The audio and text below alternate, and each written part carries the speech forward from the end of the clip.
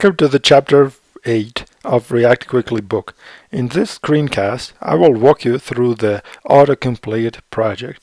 This is rather complex project. It has backend code, it has tests, it has persistence and isomorphic or universal JavaScript rendering from the server side to the client side and on the client side as well. So first of all, I want to show you how to start this project. We are in the project folder we have a few files here. We will talk about them more and folders as well. So to start I would use npm start. And uh, one thing to do before so this is a new terminal window I need to have MongoDB installed configured and running. And I need it to be on the default port of 27017 so I'm switching back and now I can safely launch npm start command which will launch gulp and the gulp has the development server. It's called nodemon. So nodemon will start the Express.js and Node.js backend and that backend will also serve the files for the front end.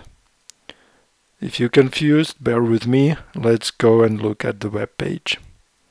So this is localhost port 3000 and you can see this uh, beautiful in input box. So you can think about it as a Slack or HipChat rooms and uh, or maybe in Twitter you have a bunch of hashtags. So let's say you want to use Node.js. Here we go.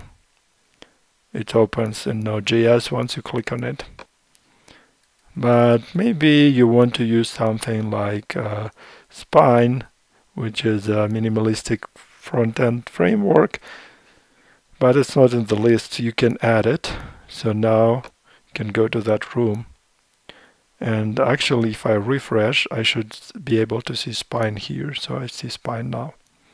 And uh, okay, so let's add Angular 2 because Angular 2 is coming soon it's different from Angular 1 and again if I'm refreshing I see Angular 2 in Angular.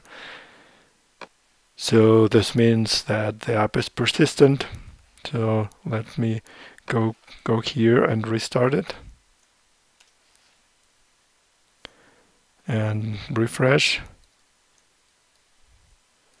Yeah the data is there so the app is persistent the data is stored and it's also rendered on the server on the first page load and then the rendering is happening on the browser. I showed you how to launch the project, the final project and uh, how it looks like. So now we can discuss and we can cover the folder structure. First of all, we have the test folder for our Jest tests. Then we have node underscore modules, that's where dependencies live. Then we have public. So the public folder will have the compiled files, the normal JavaScript files, and uh, the CSS, Bootstrap CSS file. Let's close it for now. And then SRC stands for source. That will be our source files, the JSX files. Files like app.jsx and autocomplete.jsx. So app.jsx will render and it will import and render autocomplete.jsx. And then we have build file where all those build files are live. So first we compile app.jsx into app.js and same thing with autocomplete. We compile from JSX to JS and then we will bundle it up into the public folder public slash js slash app.js. So what's up with the views? We're using handlebars here for server-side rendering and we also render will render React components from within that handlebar templates.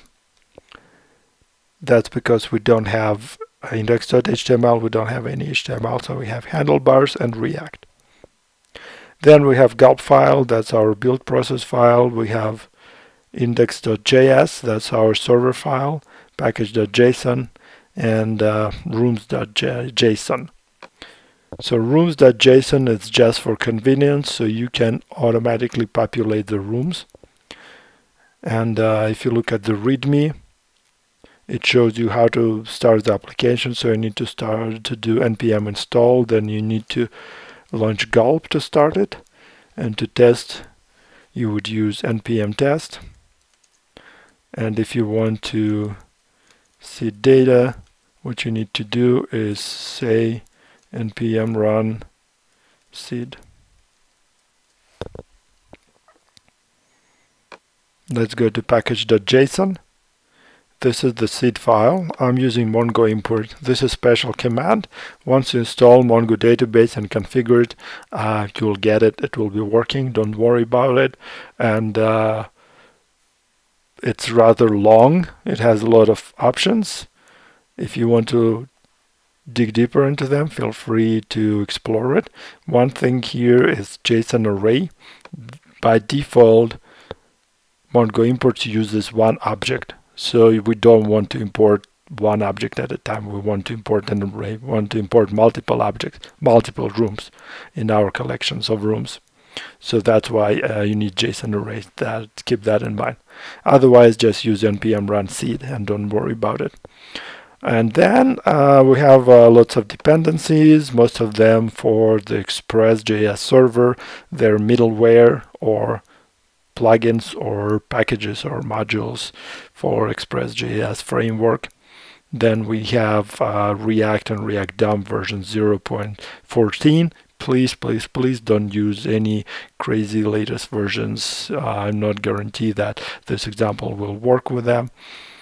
Then uh, Reflux, that's what we'll be using as a data flow for our React UI views and then request. It's a library, both front end and back end, for making HTTP requests. So from our front end application, we'll be making requests to the our to our backend Express.js and Node.js server, and that server will get the data to the MongoDB.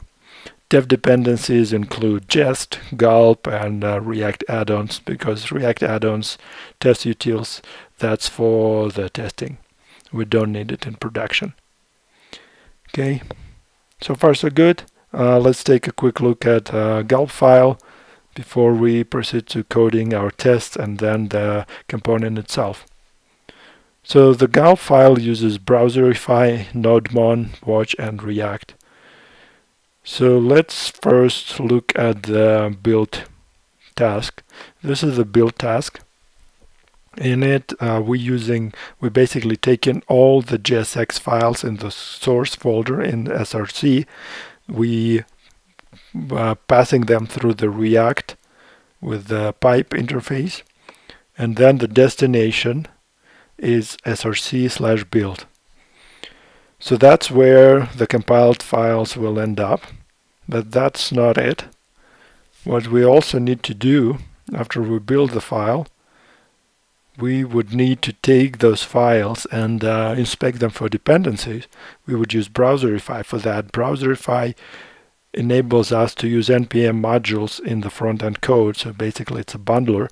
It will uh, smartly manage all the dependencies. So for example, if we have two files requiring one module, it will have that module only once. And it will also do a lot of other good things but for now, just keep in mind, so we're taking that app.js and uh, we writing to the destination public JS. And app will include the autocomplete, so we don't do anything with autocomplete. Browserify takes care of all the dependencies for us. Then uh, the watch task, uh, it enables us to use uh, this task and to use these processes like uh, compilation and bundling in the development mode. So anytime there is a change, the watch will trigger build and script. And we are watching for the file changes in JSX only. That's all we care about.